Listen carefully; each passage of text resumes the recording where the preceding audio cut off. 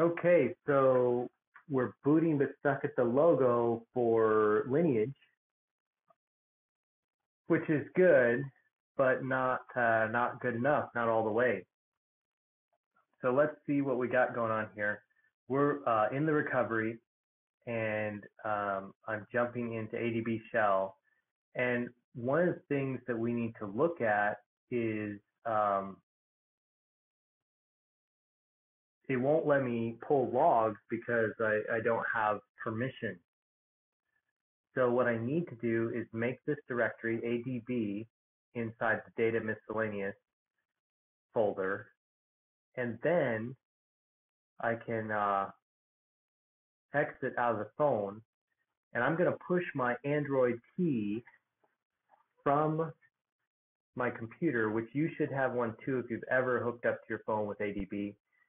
And you see you have this ADB key.pub. We're going to push that ADB key, key dot pub. Wow, that's tough to say five times fast. But we're gonna we're gonna push that to data uh, misc ADB and ADB underscore keys. And it didn't take very long, only takes a second. But pushing that there, uh, now we can reboot and uh, and we should be able to now connect to uh, the device. So let's look to see what devices are there now. And of course, I got to share it with my virtual machine. Try this again. There we go. No permissions. Still. Um, insufficient permissions. What am I forgetting to do? Now we're doing an eng build, so it should enable this by default.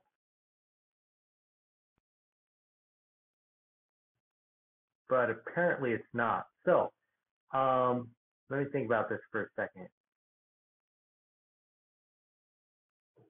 Okay, so what we should do, uh, I'm back into recovery here.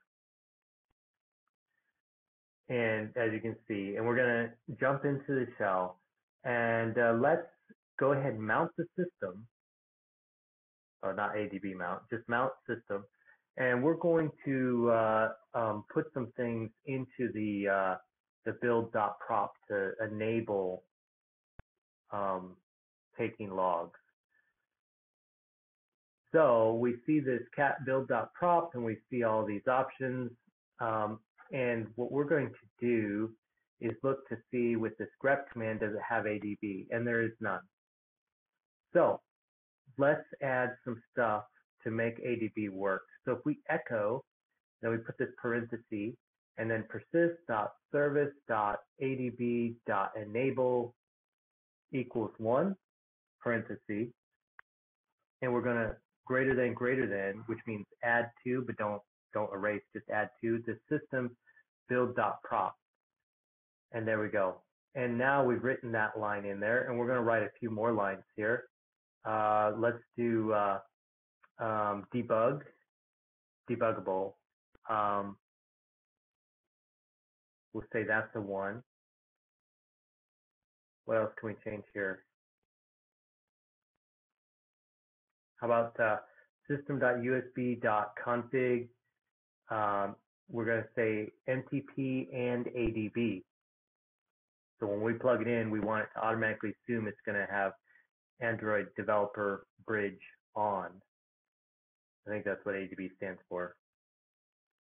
So um, just to double check to make sure I put enough in there. So now we can just reboot it and let's see if we can pull some logs now. Now, of course, we're going to add these things that I just added to our um, device tree uh, system prop files to make sure it gets written every time uh, until we're done working on this.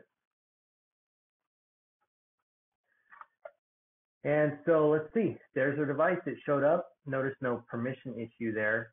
So if we do a logcat and we pull it, we're going to T to log one, If you need help on pulling logs, my previous video series covers that in, in more detail. Um, a lot of issues with crypto right here.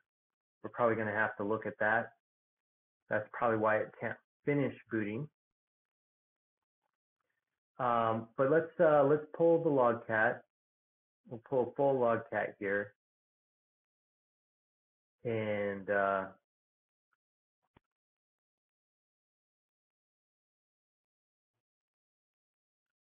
looks like maybe a few tombstones went by. The phone actually boots up. It starts Android and then it quickly goes back to the boot logo. So um, hopefully I'll be able to show that video as well and we can uh, see what's going on. So we pulled plenty of logs here and that's going to give us a good place to uh, to start.